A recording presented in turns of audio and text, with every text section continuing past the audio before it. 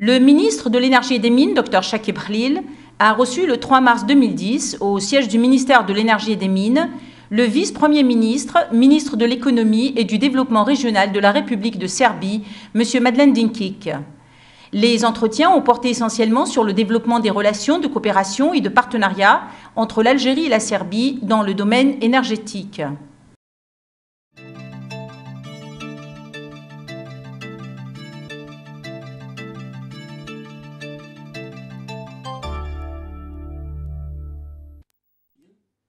استقبل وزير الطاقة والمناجم الدكتور شكيب خليل في 3 مارس 2010 بمقر وزارة الطاقة والمناجم نائب الوزير الأول وزير الاقتصاد والتنمية الإقليمية للجمهورية السربية السيد مادلين دينكيك.